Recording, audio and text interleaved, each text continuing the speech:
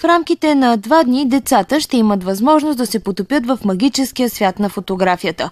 Първо в двора на Хасковския музей те научиха интересни истории около първите фотоапарати и снимки. Мълчуганите успяха да се докоснат до старата техника, дори да си направят снимки в лапидариума.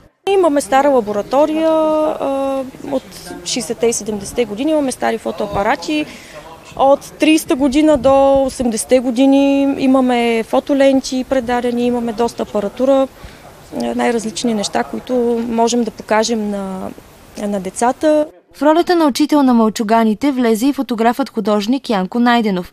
Той показа на децата как да позиционират кадъра, как работят фотоапаратите с лента и какво представлява самата лента.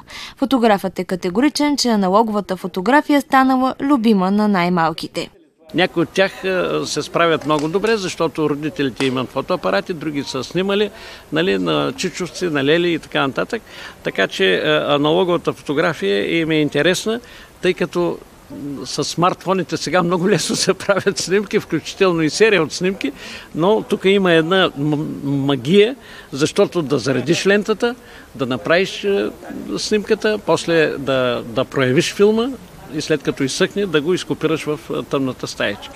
Тъмната стаечка в музея вече е готова и оборудвана с всичко необходимо, за да може децата да промият и отпечатат снимките си. Ретрофото очарова всички деца.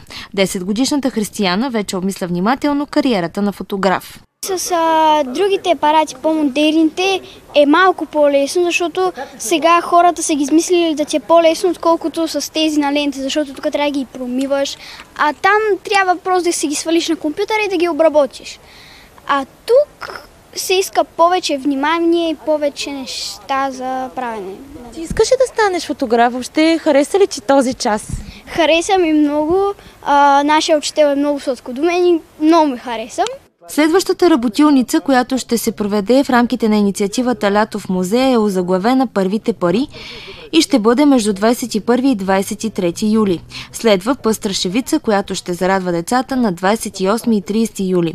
На 4 и 6 август ще се повтори ретрофото. Следва 8 и 11 август, когато ще се състои работилница посветена на калиграфията. На 18 и 20 август е заниманието заглавено царски знаци. Всички занятия се провеждат при спазване на противоепидемичните мерки. Необходимо е предварително записване.